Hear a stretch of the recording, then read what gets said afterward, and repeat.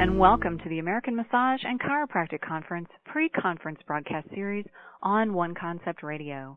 I'm Felicia Brown, and I'll be your host for this interview and series.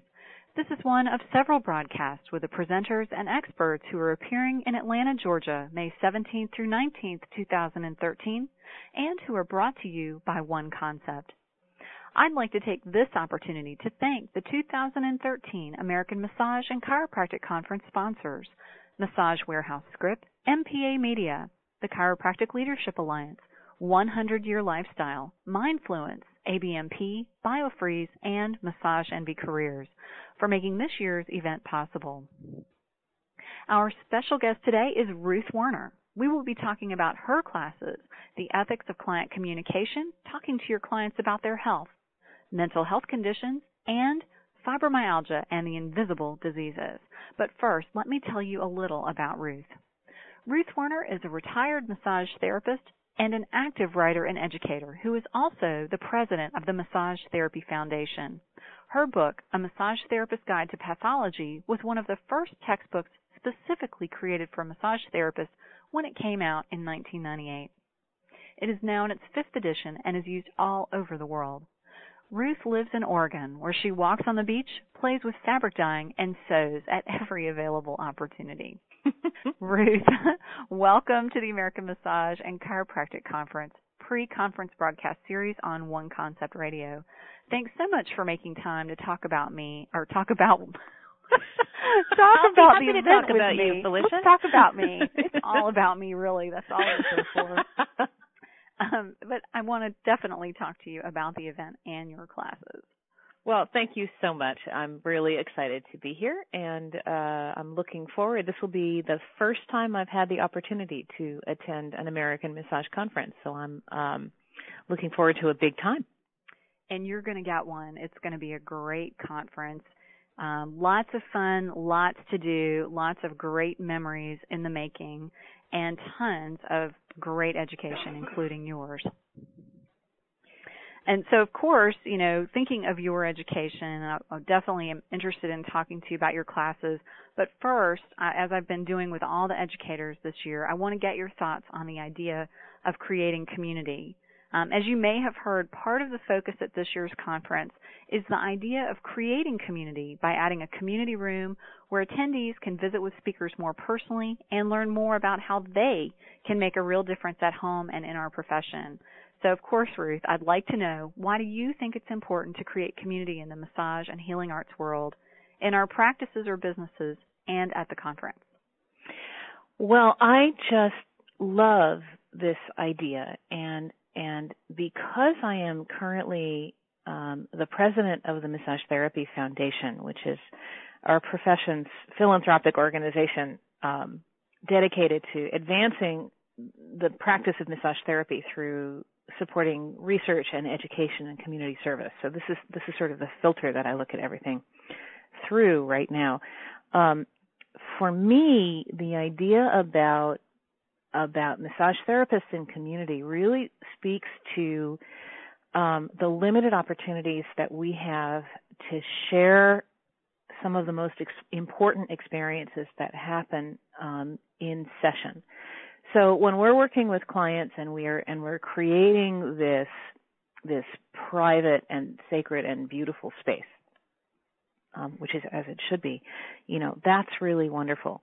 But when things happen in that space that are important, when there's when there's a, a surprising outcome, whether it's a positive or a negative one, um, it's it, it, we have such limited ability to share that experience, to share that discovery with our colleagues, and um, and through case through case reports, through research, through appropriate reporting, you know that that that preserves confidentiality, that preserves privacy, but that but that shares experiences with our colleagues, our entire profession can be enriched.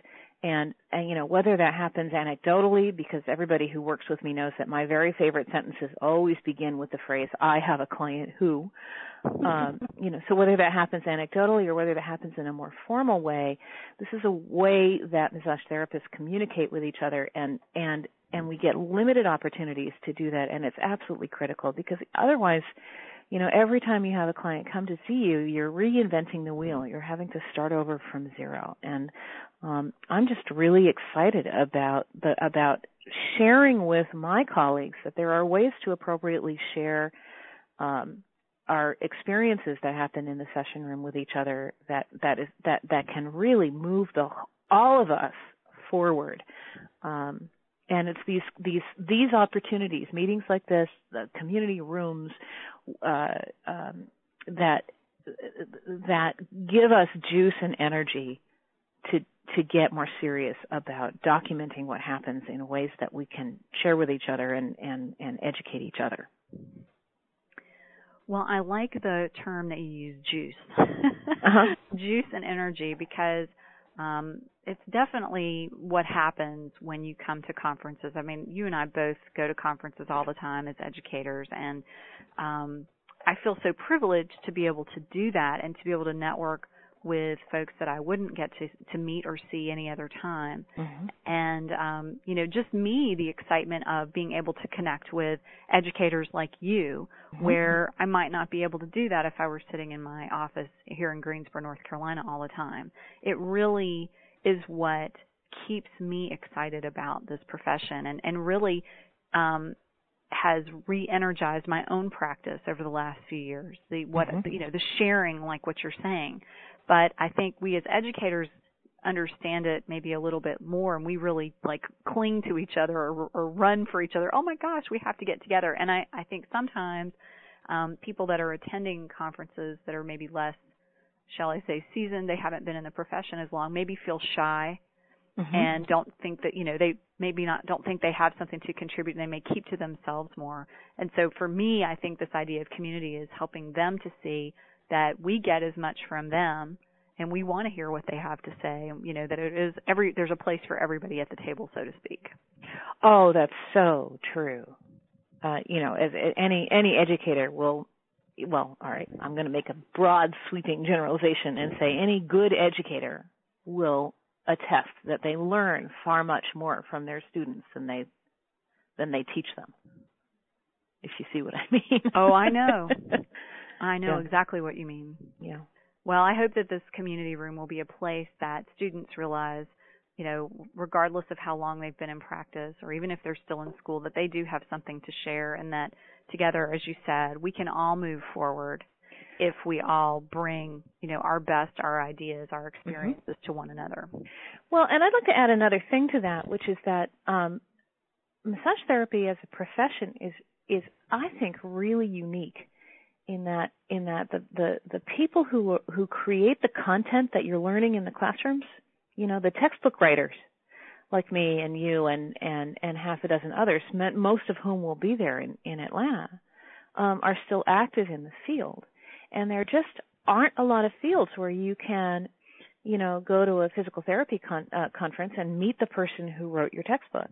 Right. Or go to a or go to a cardiac surgery conference and meet the person who developed the techniques. Do you know what I mean?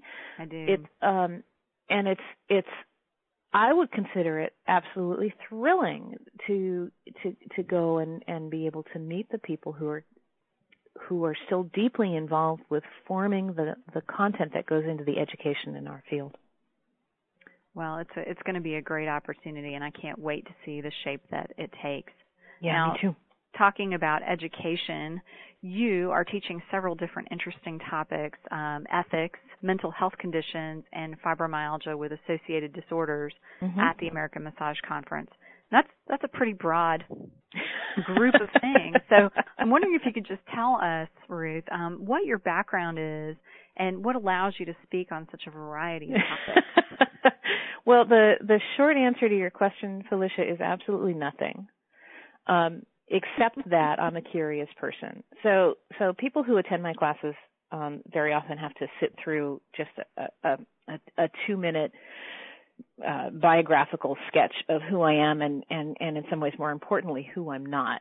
I went to massage school in the early 80s and my first transcript says I am the proud graduate of a 125 hour program, which at that time, um, and in that place was considered pretty, pretty ambitious and exhaustive.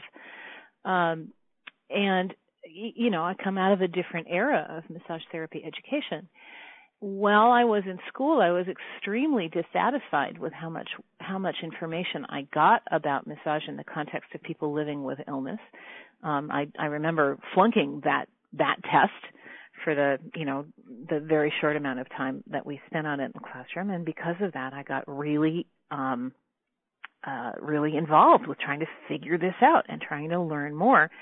Um, it was during this time that massage therapy as a profession was really beginning to make that transition from you know being a, a treat that people with some extra money would indulge in once in a while to being um, a strategy that people with complicated health situations might employ to help them be healthier and to improve their quality of life and I was just convinced that we just did not, there was not enough information about massage in the context of illness and disease.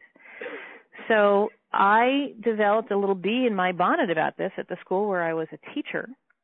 Um, and then uh, when I had to leave that position because um, a life change took us away from Seattle where I was working, and I had two little babies um, that I needed to stay home and, and take care of. My my teacher, my boss, um, commissioned me to create a document for the school. He said, you know, you you you have all this passion about massage and the and massage and contraindications. Why don't you why don't you write us a document? Now this is in the years before everybody had internet. So I had half a dozen big, thick, boring, difficult medical texts to weed through. Um, but I had a pretty good idea of the of the things that would influence decisions for massage therapists. And that was the basis on which I wrote a document for that school, which eventually became the author's proposal for a book. Now, you know, many, many years later, uh, keeping that book up to date, as you said, it's it's now in its fifth edition. Keeping that book up to date is is essentially a, a, a full time job. But I want to emphasize that I am self taught. I came to speak and write and learn about pathologies because I wanted to be a good, ethical, responsible massage therapist. Um, I, I'm actually, as it as it turns out, you know, who could have foreseen? I am much much more comfortable in a classroom setting than I am in a in a massage setting, and so I gave up my practice. That's why I'm a retired massage therapist, but I am an active teacher and writer and educator. Um, but I, uh, I am not a doctor. I'm not a nurse. I'm not a physical therapist or an occupational therapist. I am a massage therapist with a lot of interest and curiosity. And the reason I, I, I really love to emphasize this point is that, um, y- you know, no one will ever write a book that has every possible disease in it. It's not possible. Um, you will always be have the have have people come to see you who have some condition that you've never heard of. Um, every person has the ability to look stuff up and make good critical thinking decisions about the appropriateness of their work. My job is to, I feel, is to help people understand how to balance those risks and benefits. Um, and if I can do it, anybody can do it. Um, and so that's what gives me the ability to speak to this, to this, you know, to these topics, Felicia, is that I was the one who was willing and patient enough and had a good medical dictionary, um, to, to, you know, which, for which I now write terms, uh, uh, to, you know, to wade through all this background information. Um, but that doesn't make me the only person who can do this. Everybody can put together enough information to make a good decision about their clients if they're willing to, um, you know, to do that kind of work. Well, I think you make a really good point. It, tied, it ties a little bit back to that community room um, very similar to my own story about you know where I come from with marketing. Why am I so good at marketing? Because I wanted to learn everything I could about how to be successful, mm-hmm. and I just dove in head first. Do I have an MBA in marketing? No.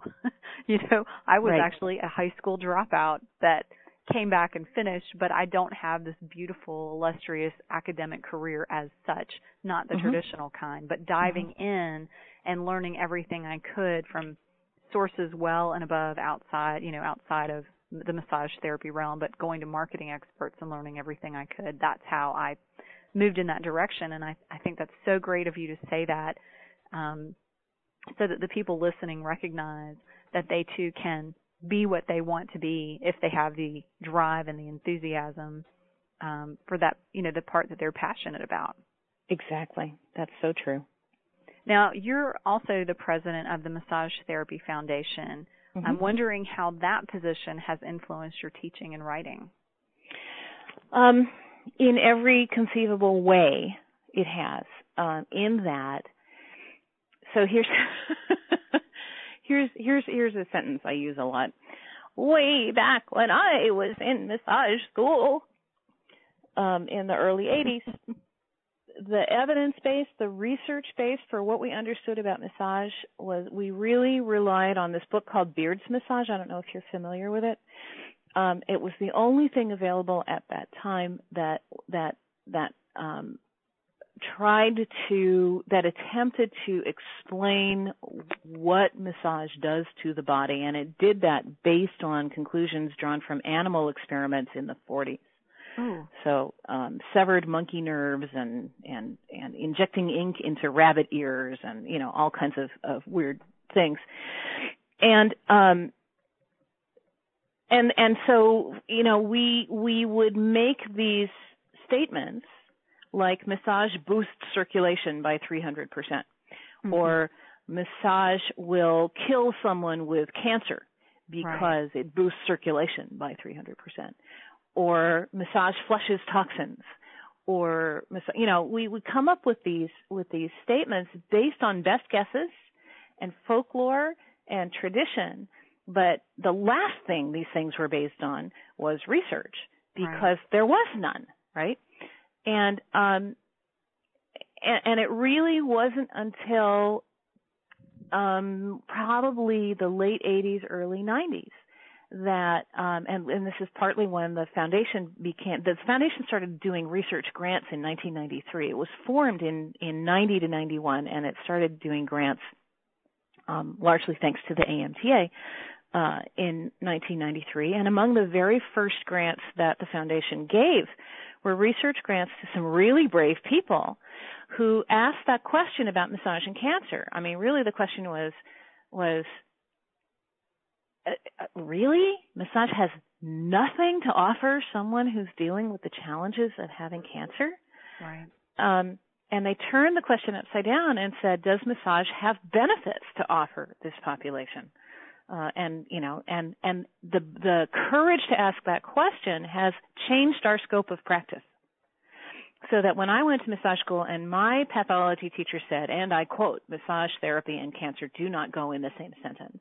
Right. You know, now we have people building entire careers working with cancer patients um, and doing wonderful things for the quality of life and their ability to tolerate treatment and um, and this opens new avenues for research. I mean, what if what if receiving massage made chemotherapy more effective so you could get the same results with less poison, mm. right? I mean, those are the kinds of questions that we can ask today that 30 years ago we couldn't even think about. So, um, I, and I did not just say that that's true, that massage, you know, that we know that massage right. does something different to chemotherapy. I don't want anyone to misinterpret that, but that's the kind of question that we can ask now. Um, and it, and and that finds its way into my writing and my teaching every day. I get really excited about this. I don't know if you can hear it, but I just I got up and I'm jumping up and down um, because I find this tremendously exciting that we don't have to base our education on best guesses and folklore. We now have a pretty solid evidence base that is growing every day about how massage affects the body and um, and in my writing, which is which is mainly around pathology and just introducing massage therapists to ideas about research because I'm not a researcher.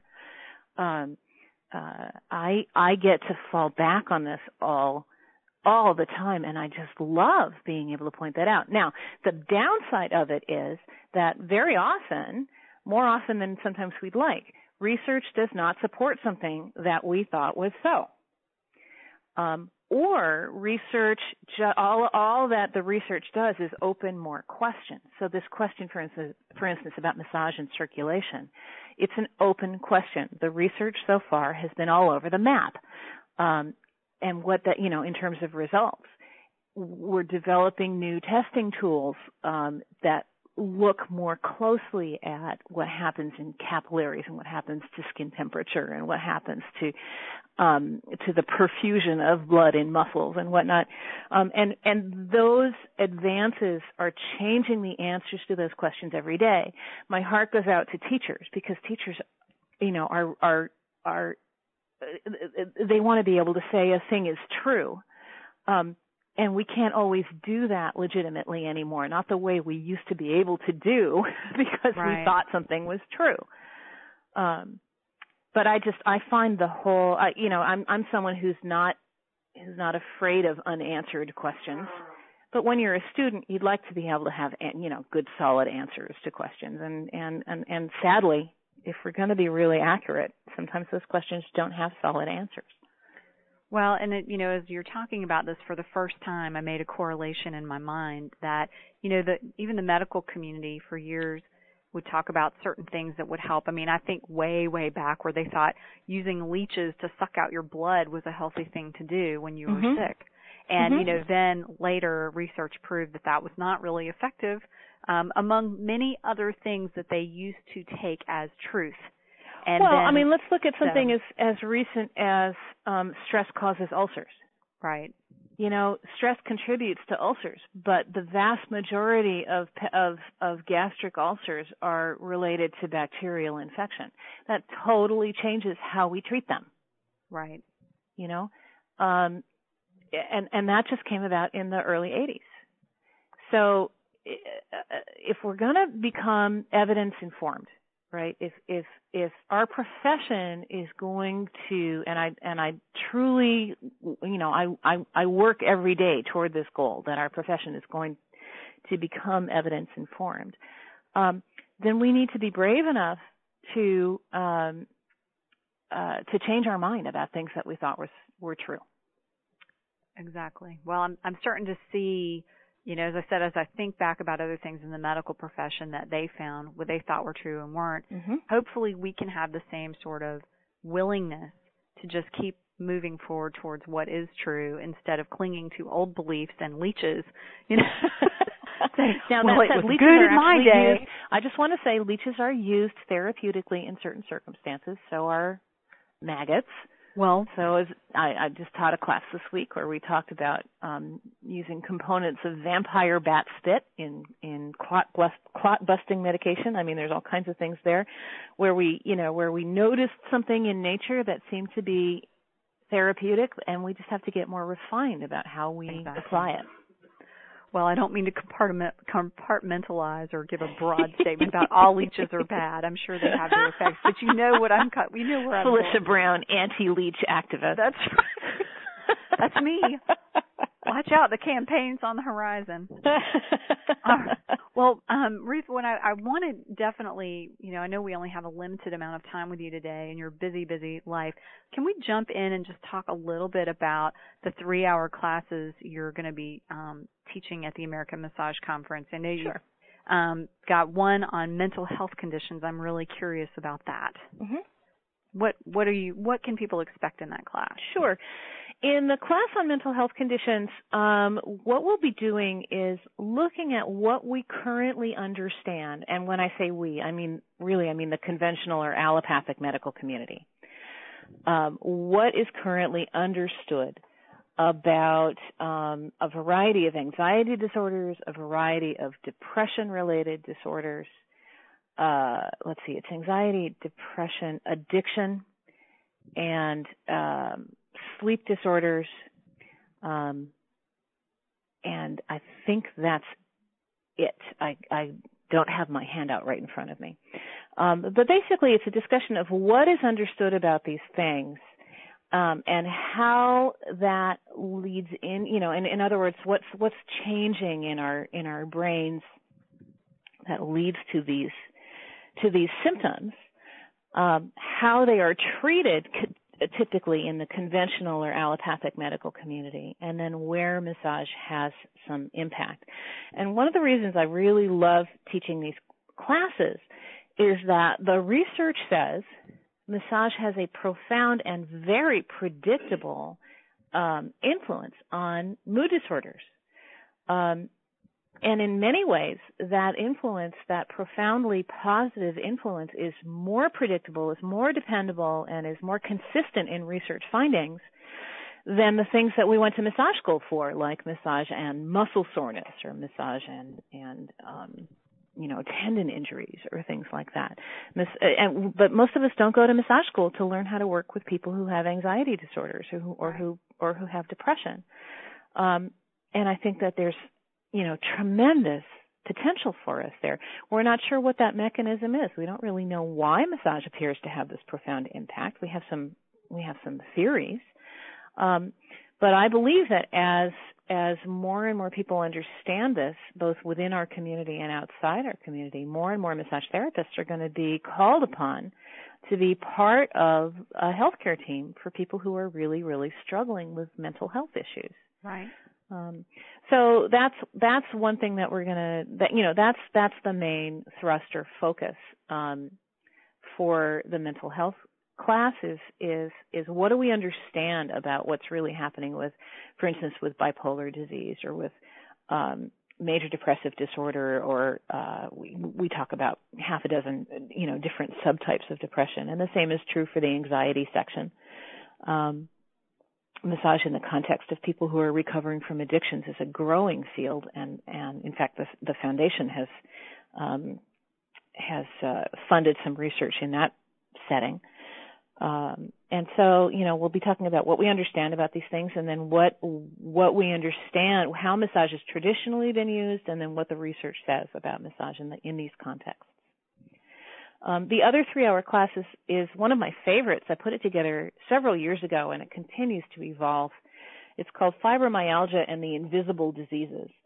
Um, and, and really the focus there is on uh, fibro, uh, chronic fatigue syndrome, and irritable bowel syndrome. This is mm. a hmm. triad of um, chronic pain and stress related disorders that have so much in common um, that I believe as we continue to become more sophisticated in how we understand these things, we'll just see that that that they may be sort of different manifestations of of of one sort of mm-hmm. larger central nervous system uh, uh, dysfunction that has to do with oh how we manage pain and how and how we manage stress. Um, in addition to those three, we'll also probably be talking about myofascial pain syndrome because the, the confusion between the tender points we see with fibromyalgia and the trigger points that we see with myofascial pain syndrome can can lead to people getting being uh, uh, uh, mistreated is the wrong word, but you know lead to massage therapists making some mistakes that don't serve our clients well. Um, and then depending on how the time goes, I, I usually am prepared also to talk about hypothyroidism. That's a, a, a completely different condition, but it has a lot of symptoms in common with these others. Really? And they, and it all occurs in the same population group. So, um, yeah, so, so that's that setup. I love talking, I love the fibro classes because almost everybody has clients who have fibromyalgia and and it's one of those conditions that has both been historically both underdiagnosed and overdiagnosed um, and we're making big inroads in what we understand about this I think there's a lot to um, to get excited about in both of those. I mean, I I've often seen similarities uh, between the fibromyalgia and chronic fatigue syndrome, and years ago several other conditions. I think one of them was multiple chemical sensitivity disorder or mm-hmm. something like that. Mm-hmm. Mm-hmm. And um have just, you know, have my own hypotheses about um about those. But the mental health conditions, I, I definitely see that as a trend that's growing, and have been really excited to see research backing up what I've personally experienced that um, massage can have a profound impact on um, someone when they're feeling down or blue or grieving, um, mm-hmm. Having problems sleeping, that sort of thing. So it's really encouraging to hear that the research continues to show um, such a positive effect, and you know to open the eyes of of some students to that, and maybe help them specialize in that area. I think is fantastic.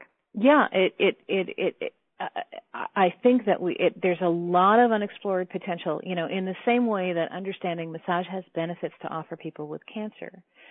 Um, if we if we look at the benefits massage has to offer people with mood disorders and think about, you know, what a low impact, low risk intervention this is with with a high potential for a good outcome. Um, it, uh, I, I think there's a huge amount of potential for us in this in this setting. Most definitely. Ruth, with with all the classes that you're teaching at the conference, you know, with such a, a, diverse group of topics, I'm wondering if you have one message that you'd like all massage therapists to hear and understand. That's a really hard question, Felicia. um, the one message, yes. Why, yes. I'm glad you asked that. Um, and this again goes back to the to the to the foundation and the and the and the the the attitude that I have come to adopt because of my work with the Massage Therapy Foundation. And and and so the one thing that I'd love to impart um, for the people who work with me in my workshops is that if you don't write something down, it didn't happen. In other words, you know, if you're if if you're working with a client, let's say it's a client who has depression, or it's a client, or or, or your client has sleeping disorders, or your client has fibro, and um, and you're getting results, that is wonderful, and it's and and good on you. But if you're not writing down those results in a way that maybe could be turned into a case report or added to a study, um, then you're working in a vacuum and it's not fair. Um, I believe that the that one of the things that is really going to move our profession forward, um, and and and my bias here is moving our profession forward as healthcare rather than as personal service, um, is when we get a lot more rigorous about writing things down in ways that are appropriate to share. Um, because until we do that, each one of us is working in a private little bubble, and that bubble is beautiful for you and your clients. But if you don't find ways to appropriately share what happens, um, then our progress is slowed. So the way I talk, I, I teach a class on writing case reports, and it's I call it citizen science. It's it's it's everybody working together to advance our profession. You don't have to be a professional researcher to document your findings. All you have to be is a good massage therapist who documents. Um, and so that's the thing I think I would like to that that you know if I were to leave a legacy on our profession, instilling that as a sense of responsibility between us, um, I think that's something that would be that would be very fulfilling. Well, and definitely one more way to bring us forward as a group, as a community, so that and we that, all... that's that's it. It's speaking to the community. Yeah. So uh, you know, I know we're running short on time, but I do want to say that I'm, I'm also teaching this one-hour class on client communications, talking to people about their health. And and and so here's an example of this. One of the components of that class is I have dozens of scenarios of of you know difficult conversations that have come up mid-session when clients in the middle of their session will say, "Oh yeah, that rash. What do you think that is?" Or, "Oh, by the way, did I tell you I just tested positively for hepatitis C?" Or, mm. you know, in in the middle of session, these things come up, and it may make us have to change what we're doing. But these these stories come to me from people over a period of, you know, uh, oh gosh, let's see, um, close to 20 years, and they so they spread across time, they spread across geography, Um, and and so we have in you know in these stories we have community with your your colleagues your colleagues your cohorts over uh, you know over the whole country over a couple of decades. We need more ways to share our experiences with each other. Um, and there are good ways to do that and I you know I just want to get us really excited about about doing that.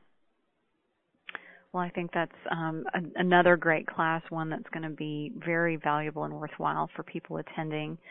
And so many people are going to be filling up the seats in all your classrooms. Oh, I hope so. I'm sure they will. but in the meantime, I know folks listening um, that perhaps can't attend the conference or just want to learn more about you before then um, would like to find a way to reach out. So, how can people get in touch with you and find out more information about what you do, about your book, or about the Massage Therapy Foundation? Well, um, I appreciate that opportunity. So the Massage Therapy Foundation is really easy. It's massagetherapyfoundation.org. Um, and we'd love to uh, invite everybody come to the website, click around, see what looks interesting and exciting to you there, because I bet you'll find something that speaks to you. Um, I have a website, but frankly, while I am the president of the foundation, my website has taken, uh, and I'm, I'm, I'm uh, embarrassed talking to uh, the marketing maven about this, but oh. I have not been good about keeping my website up to date. But if you want to um, kind of check out more about me and the pathology classes that I teach, and that's just ruthwerner.com. Um, probably the uh, the best way to be in touch with me right now, unless unless we're already um, in touch somehow, is to find me on Facebook. Just look me up, Ruth Werner, on Facebook. I say yes to almost everybody if you're a massage therapist. Um, and and through there, I post about the foundation all the time. I post about my classes, um, and I uh, invite anybody who wants to have a conversation. You know, and I have a client who kind of conversation. Um, that's a good place to do it because that's a place where people can can share. Fantastic. Well, I know after today's broadcast, everyone listening is ready to come to the conference and register for one or all of your classes. Oh, come on in. We're going to have such a good time. You'll never believe that pathology could be so much fun. Uh, exactly. Well, just to refresh everybody's memory on what to look for, the classes are the ethics of client communication, talking to clients about their health, mental health conditions, and fibromyalgia and the invisible diseases. Ruth, thanks so much for a great conversation today and just for making the time to be with us. Um, we're so glad and honored to have you uh, at this year's American Massage Conference uh, and Chiropractic Conference, rather, in Atlanta. Well, thanks. I'm really looking forward to being there, and um, and this community room sounds like a great place. So um, everybody, come come by and be sure to say hi. I know there will be a line of folks waiting to talk to you about all of this. And Ruth, I'm going to switch gears and make sure that everybody listening knows exactly how they can be a part of the community room and this year's conference. The American Massage and Chiropractic Conference is one of the largest exhibitions of massage and chiropractic products, continuing education, and business opportunities for practitioners of both disciplines. This year's conference will feature over 100 exhibitors, continuing education classes of one hour, three hour, and one day workshops, including Ruth's. Other events during the weekend include Friday night's famous Facebook meet and greet, where our theme is disco. And then on Saturday night, we'll be hosting the One Concept Gala. The new conference value pass is just $87 and includes access to all one hour CE presentations, the trade show, contests, events, community events, and more. And this year we are also introducing the One Concept Pass, your ticket to full conference access. The One Concept Pass is just $349 or 299 if you purchase early and includes full days with James Waslaski and Eric Brown, all three hour uh, all three hours, including classes with Whitney Lowe, Aaron Mattes, Tina Allen, myself, and all one hour presentations. All education is approved by the NCB, TMB, and Florida CE broker, and CEs are included for chiropractors. Also, the One Concept Pass covers lunch each day, as well as access to the trade show, the chance to participate in special events, community opportunities, and contests with literally thousands of dollars in prizes. For students, the conference offers a free student day and Smart from the Start program on Friday, May 17th, which is sponsored by Massage Envy, Massage Warehouse Scrip, BioFreeze, and Bon Vital. This day is dedicated to massage and chiropractic students who are currently enrolled in school or who will graduate in 2013 and includes access to our opening session and trade show on Friday. All of this is happening at the Sheraton Atlanta, and I definitely suggest you make plans to stay there if possible. Single or double rates are $129 a night, but space is limited, so make your reservations now. Also, MPA Media is printing the American Massage and Chiropractic Conference event program inside their magazines, Massage Today, Dynamic Chiropractic, and Chiropractic Insights. These will be given out at the conference and distributed throughout the U.S. to over 133,000 practitioners. So if you are a vendor or educator who's listening in today and you'd like to get some great exposure for your class or product, contact MPA Media for details on being a part of the conference program. Now, if you're ready to register for the 2013 American Massage and Chiropractic Conference in Atlanta, and of course to meet Ruth Werner, myself, and the other amazing instructors, just go to oneconcept.com. That's the word one, O-N-E, concept.com to access the conference schedule and register online. We also invite you to stay connected with us on Facebook at facebook.com forward slash American Massage Conference and American Chiropractic Conference. Again, the 2013 American Massage and Chiropractic Conference is made possible by all of our wonderful sponsors. Thank you so much to Massage Warehouse Scrip, MPA Media, the Chiropractic Leadership Alliance, 100 Year Lifestyle, Mindfluence, ABMP, BioFreeze, and Massage Envy Careers. This is Felicia Brown, and on behalf of everyone from the American Massage and Chiropractic Conference and One Concept Radio, I want to thank you for tuning into this edition of the pre-conference broadcast series. We look forward to seeing you in Atlanta in May. Please also consider joining us later this year for the American Massage, Chiropractic, Acupuncture, and Spa Conference in San Diego, California in September, and the Canadian Massage and Chiropractic Conference in October in Niagara Falls, Ontario, Canada. Thanks again for tuning in and have a fabulous day.